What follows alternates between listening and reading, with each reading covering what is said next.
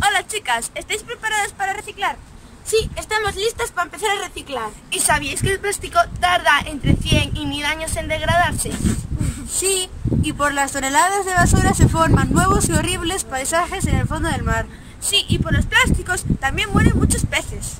Vamos a ayudar a los animales marítimos y a nuestra vida también. ¡Y al planeta! Hemos recogido unos cuantos plásticos. Veis un plástico.